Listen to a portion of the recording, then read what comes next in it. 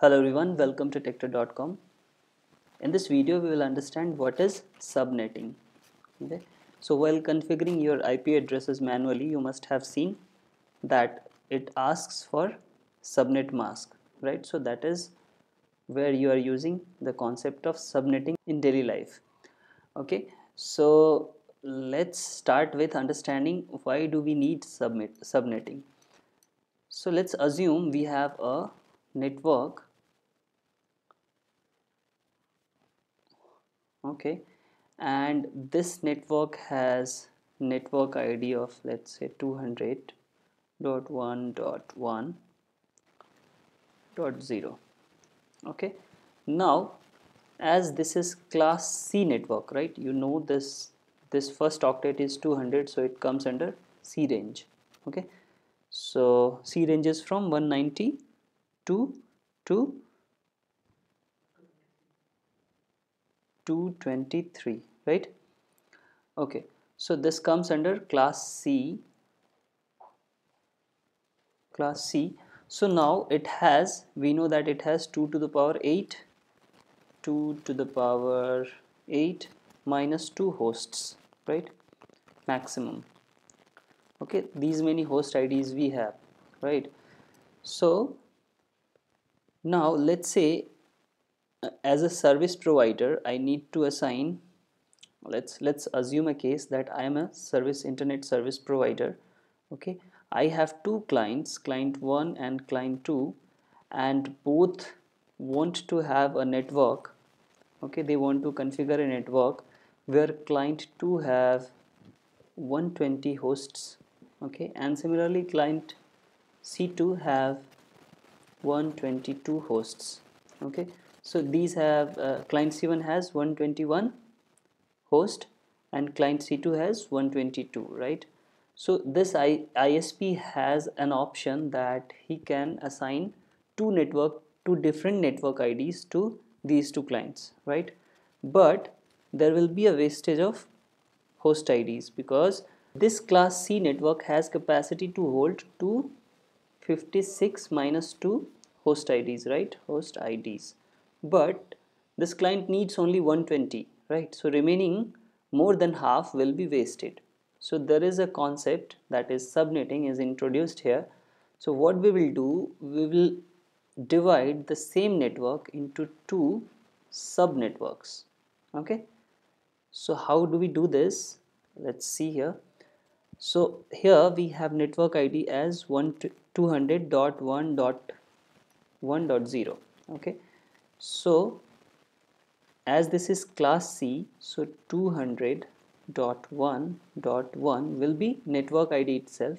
Then in host ID I'll take first bit as subnet ID okay? And then remaining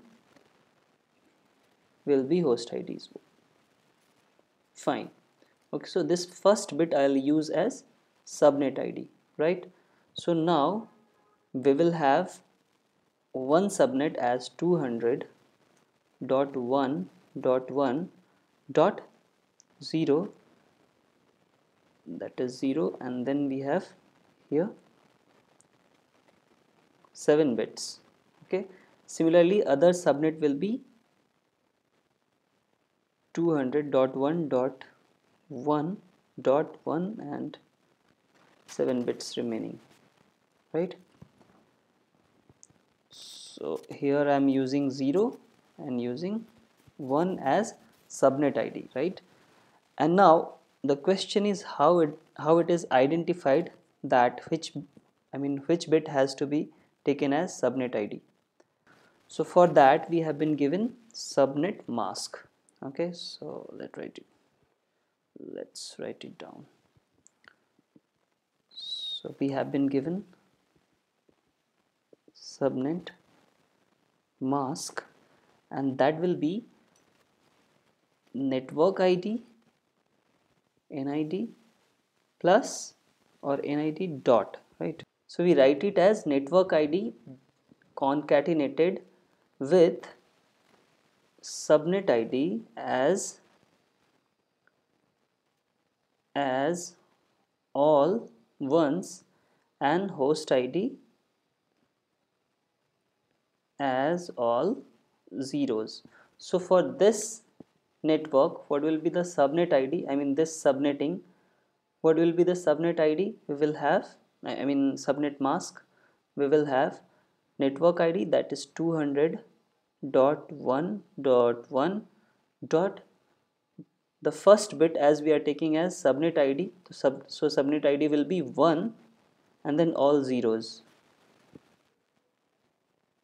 right? So this will be 200 dot I mean I have written this as decimal and this is as binary right? So I'll write it as bin decimal. I'll write it as decimal so it will be 1 dot 1 dot 128 right? So this will be our subnet mask. Now if you have followed my first lecture on IP addressing or classful network system you must have seen that when we divide the whole range of IP addresses in class we lose two host IDs right? So here also we are doing the same thing. So we have divided this whole network into two sub networks so in this case also we will lose two host IDs okay? So so for example for this this subnet we will not use for the remaining places zeros. So it will be like uh, 200 dot 1 dot 1 dot uh, 0 right? So this will not be used. And again the last one will also be not uh, will also we will not use. So it will be 200 this will be 0 and all 1 so it will be 127 127 okay so this we will not be using right? So these two will not be used in case of this subnet. Similarly for this subnet we will not use 2 right? Which one? 200 dot 1 dot 1 dot 128 and 200 dot 1 dot 1 dot 255 right? So you can see that the two IP addresses which we already excluded in classful network that is first one which is all zeros right? And this is last one which is all ones in host ID so these were already excluded in case of classful architecture right? So in between also we are excluding the subnet boundaries right? This one and this one so in this case we are losing 4 IP addresses.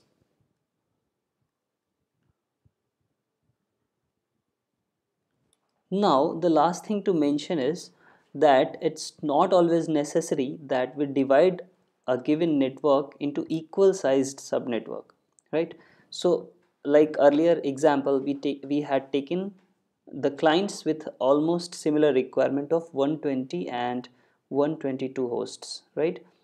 So these were almost similar requirement right? But we may also have 120 plus 60 plus 60 right?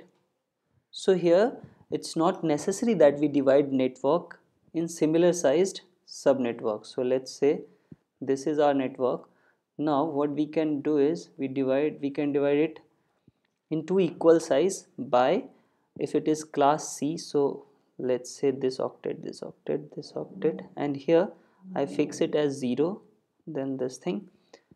Okay similarly here 200.1.1 and then I fix it first one as 1 right? And then we have variables. Okay now we can do what we can do here is we this half this is first half this is second half now we can divide this second half in two parts again. Okay so this is further divided. So for that what we will do? It's very simple right? As to divide in two parts we fix this first bit. Okay so here the first bit is fixed. I mean first bit is like we chosen this first bit as subnet ID okay so this is 0 1 now to divide this further what we can do we can fix this bit. Okay? So here let's say if this is 0 and this is fixed now. So here we can have for last octet 200.1.1 and for last octet we can have this 1 and 1 which is subnet id and then we have remaining bits. So that's how we can divide subnets in unequal sizes right? Okay so that's all for the this lecture. Uh, we have covered the basics of subnet masking. And in next lecture we will be solving problems over it. So i hope you have already subscribed to this 45 days preparation sprint on techtud.com so if if not must subscribe for this sprint. Okay for this remaining 45 days. And please subscribe to our youtube channel and like our facebook page to appreciate us. So see you in the next lecture. Thanks for watching